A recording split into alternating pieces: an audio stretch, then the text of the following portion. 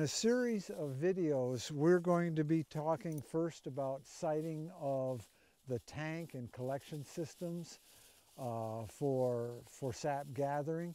It's important, uh, especially as you look at uh, this setup, to have the tank at a level where one, you can draw out of it easily, two, you've got enough fall to allow for the uh, vacuum releasers or whatever release system you're going to have and still get the fall that you need from the sugar, sugar bush.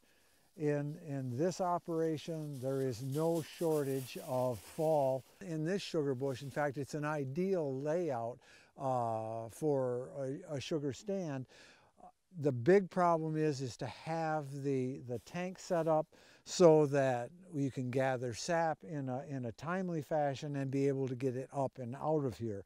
If it were being pumped mechanically, that's not as much of an issue.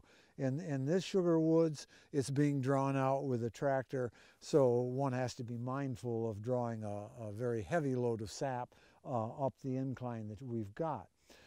So the siting of the tank has got to be first. It should be at the lowest point in the sugar bush, which it is here.